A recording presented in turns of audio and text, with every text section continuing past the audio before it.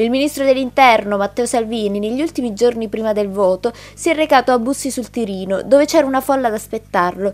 Insieme al ministro c'erano il senatore Giuseppe Bellachioma, presenti anche alcuni candidati della Lega alle regionali. Il vice premier ai microfoni si è soffermato sul terremoto e sulla ricostruzione, ma anche su quota 100 e sui vari collegamenti abruzzesi. Siamo a lavoro per recuperare anni, in qualche caso decenni, di, di incuria, di, di, pessima gestione politica. Ieri ero all'Aquila dove aspettano da dieci anni un nuovo comando dei Vigili del Fuoco e già ci stiamo lavorando. Anche qua il territorio abruzzese è uno dei più belli d'Italia, va curato, va tutelato, va difeso, va valorizzato e quindi siamo, siamo già al lavoro questo, su questo, diciamo che una nuova regione più concreta, più efficiente, più veloce, più libera da certi interessi sarà una garanzia.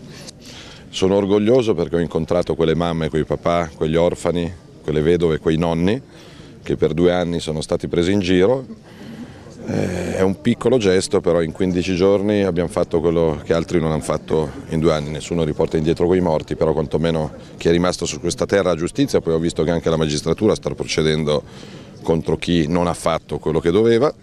Stamattina ho parlato con tanti aquilani, sia coloro che stanno ricostruendo sia coloro che aspettano. Stiamo velocizzando anche questo. Eh, di ricostruire velocemente, eh, perché ci sono ancora decine di migliaia di abruzzesi fuori di casa, mi chiedono più sicurezza e questo sono in grado di garantirlo, più poliziotti e meno immigrati in giro per l'Abruzzo nel 2019 e lavoro. Lavoro, io ho visto oggi con enorme soddisfazione che la provincia italiana che sta aderendo con più entusiasmo a quota 100 è l'Aquila. C'è bisogno di più collegamenti, di più ponti, di più aeroporti, di più strade, di più ferrovie, eh, di, di, meno inquinamento in Italia, quindi tutto quello che aiuta a inquinare di meno e a viaggiare meglio è il benvenuto. Può essere la TAP, può essere il Terzo Valico, può essere eh, Roma-Pescara, può essere eh, una ferrovia in Sardegna piuttosto che in Sicilia, quindi una cosa non esclude l'altra.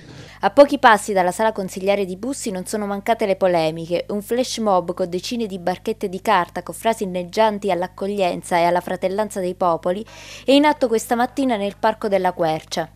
Barchette di carta fragili, con messaggi di accoglienza, colori e disegni che richiamano il dramma di chi va alla ricerca di un futuro, ma si trova in balia delle onde e spesso non sopravvive. Anche nella vicina Pescara è in corso l'installazione delle mani, che in precedenza erano atri, sempre con lo stesso scopo di sottolineare l'importanza dell'accoglienza. E infine un 49 scritto sulla collina antistante Bussi, per indicare i 49 milioni da restituire della Lega.